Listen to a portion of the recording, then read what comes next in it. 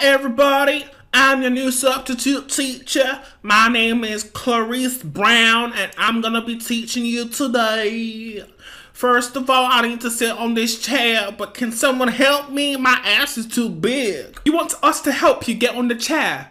Oh my god, this teacher's so annoying, and she's really big. Hey, I heard that!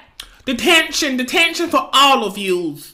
Oh my goodness, I am so tired already. Class, I'm not gonna be teaching you today. Open your books and start copying whatever's inside the books.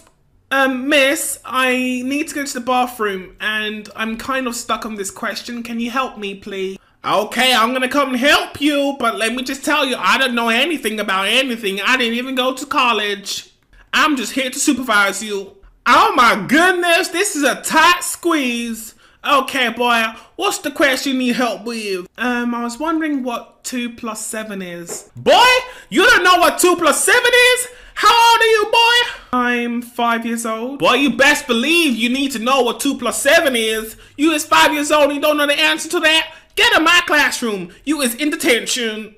Oh my god, her ass is in my face. Ew. Stop laughing at me. Ew, it smells so bad. They're talking behind me. Boy, you is in detention as well. I know you ain't talking about my ass. Okay, class, I'm stuck in between these tables, but you guys can go on to lunchtime now. Just make sure you call the fire brigade to get me out of this chair. I'm kind of stuck, boys. Oh my god, this teacher is so disgusting. Principal!